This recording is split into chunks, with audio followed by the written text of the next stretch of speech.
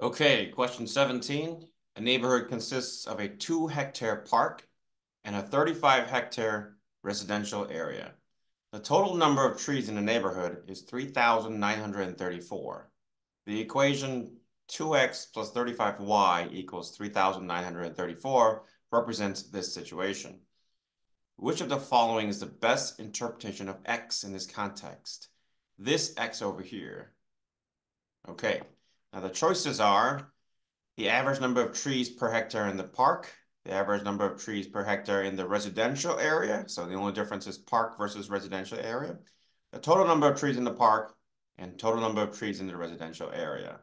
Now there is a way to do this where you just look at everything uh, very closely. So 2x plus 5y, sorry, 35y equals 3,934. So what we want to do is make sure that the units are all consistent. This particular item here has a unit of trees or tree.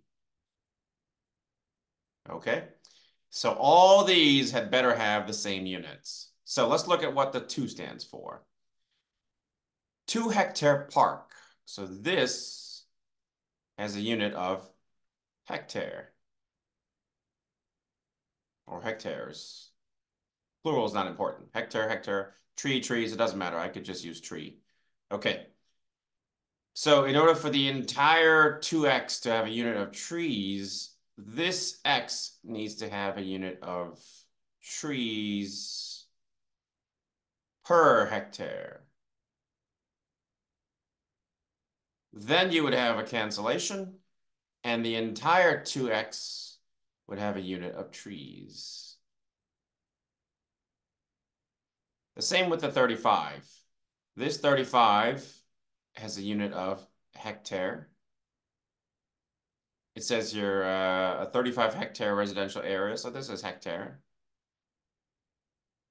So this Y had better have trees per hectare in order for this entire item in order for this to have a unit of trees. Uh, I can't I can't fit it up here, but you can see what I'm doing. This has a unit of trees. That's trees. Now, so the X has a unit of trees per hectare. Okay. The average number of trees per hectare, the average number of trees per hectare. Perfect. So we're down to these two. The total number of trees, that's not right. And that's not right. So now we have to worry about whether X is for the park or the residential area. But uh, it's next to the two, and the two is a two hectare park. So it's the park answer, not the residential area. So the answer is A.